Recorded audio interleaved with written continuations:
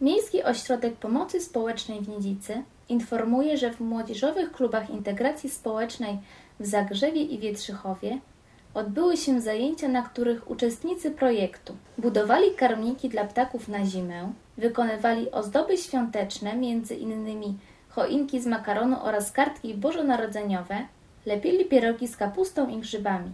Na Wigilię przygotowali się również do spektaklu pod tytułem Opowieść Wigilijna. Z okazji Dnia Pracownika Socjalnego, dnia 19 listopada 2013 roku, podczas uroczystości na zamku w Niedzicy, uczestnicy projektu zaprezentowali występ muzyczny. Zespół zagrał dwa utwory w wersji instrumentalnej oraz piosenkę Stanisława Sojki pod tytułem Tolerancja. Skład zespołu Sylwia Nowicka śpiew, Martyna Wrubel śpiew oraz gitara, Marta Sznarbach gitara, Marta Mrugowska bongosy, Alicja Kawiecka bębny.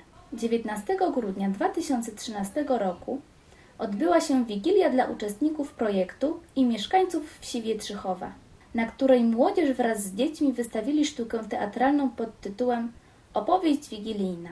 Przedstawienie pokazuje przemianę skąpca Ebenezera Scrooge'a, zachodzącą w czasie nocy wigilijnej. W noc wigilijną ukazuje mu się duch Jakuba Marleya, jego zmarłego wspólnika w interesach, cierpiącego pod ciężarem łańcucha win, który wykuł sobie za życia.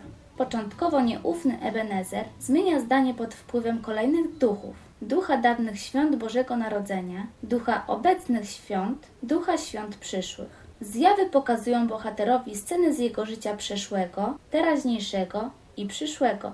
Przerażony wizją samotnej śmierci, pojmuje beznadziejność trybu życia, które prowadzi. Zmienia swoje nastawienie do innych ludzi, staje się z powrotem szczodrym, serdecznym człowiekiem, jakim był za młodu. Po przedstawieniu spektaklu wszyscy podzielili się opłatkiem, złożyli sobie życzenia oraz wspólnie zasiedli przy wigilijnej wieczerzy.